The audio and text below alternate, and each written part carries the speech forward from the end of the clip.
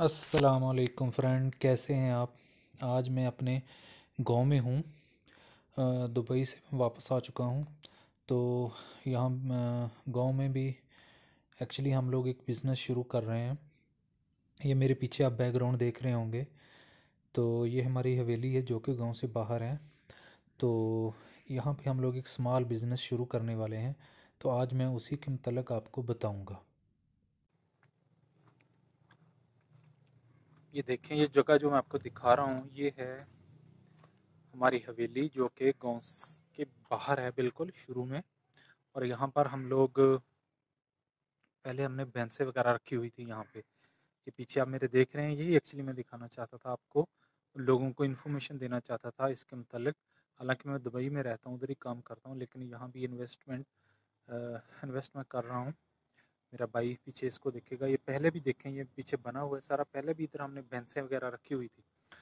लेकिन फिर मैं चला गया बाहर और दूसरे मेरे भाई भी इधर उधर हो गए तो ये पीछे वैसे ही पड़ा। अब मैं वापस आया हूँ मैंने देखा है कि सारा सिस्टम तो बड़ा बना पड़ा है।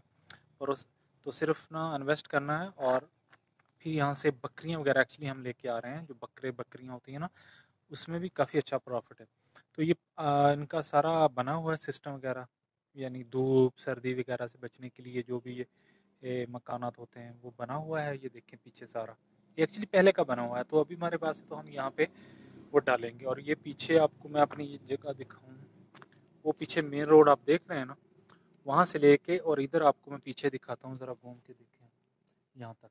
ये पूरी जगह एक्चुअली एक कनाल नाइनटीन मरला जिसको बोलते हैं, एक कनाल में। तो ये इतनी जगह, ये जो साथ वाली ये जगह भी पहले इसके साथ ही फिर ये सेल आउट कर दी और अब ये इतनी जगह हमारे पास पड़ी है। पहले दो कनाल थी, अब एक कनाल है। तो काफ़ी जगह है, यानी ये इधर इस साइड को भी देखे आप। यहाँ जब बकरी वगैरह, जानवर वगैरह खुले फिरेंगे और खुला छोड़ देंगे, यहाँ पानी वगैरह उनका इंतज़ाम किया जाएगा इस साइड पे और वहाँ गेट लग जाएगा मेन गेट पीछे।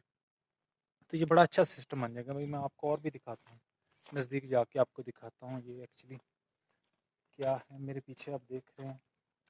तो ये ये देखिए, ये पहले से बना हुआ है ये इसका जिसमें चारा डालते हैं, ये ऊपर देखें, पूरा सिस्टम बना हुआ है। बस एक पानी के लिए बनाना है और फिर इसमें डाल देना है बकरे वगैरह। तो ये बहुत ही अच्छा बिज़नेस है। अभी हम लोग शुरू करें, अभी डालेंगे, कुछ अरसे में लेके आएँगे और फिर से बड़ी ईद पे या छोटी ईद पे सेल आउट करते रहेंगे। और फिर वो आपको पता है वो बकरियों की पैदाइश होती रहती है, उनके बच्चे फिर ऐसे बढ़ता रहता है, यानी ख़ानदान बढ़ता रहता है, जिस तरह सानू का, इस तरह इनका भी। तो ये जगह होनी बहुत ज़रूरी है। अभी मैं आपको दिखाता हूँ, और भी हमारे पास है, मैं आपको चलते चलते अब दिखाता हूँ।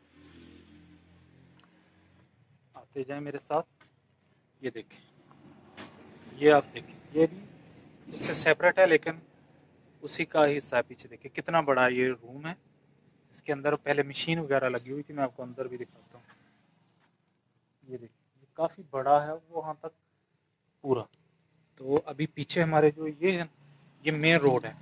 बिल्कुल ऊपर है इसके यानी ये लोकेशन बड़ी अच्छी है। और इसके सामने हाई स्कूल है वो भी दिखाता हूँ।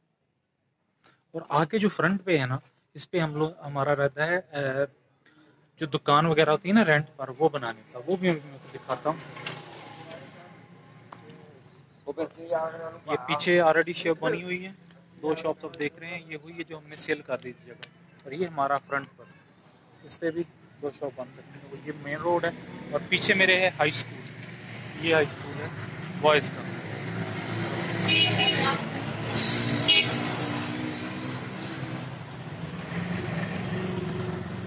बाकी ट्रैफ़िक तो चलती रहती है सारा दिन